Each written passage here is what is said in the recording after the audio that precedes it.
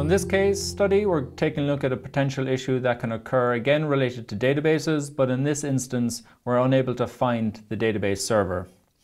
So during the pre-checks, we would get an internal error occurring, and in the upgrade runner.log, it'll tell us that it failed during the vCenter database pre-checks, and it'll guide us to look for the collect requirements on the vcdb.log.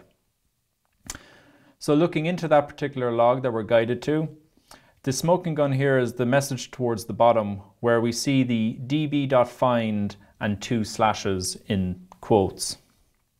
So this particular issue has been root caused by VMware and there is a KB article 2113819 and it's caused if the vCenter Server database was previously moved from SQL Server Express to a full instance of Microsoft SQL Server.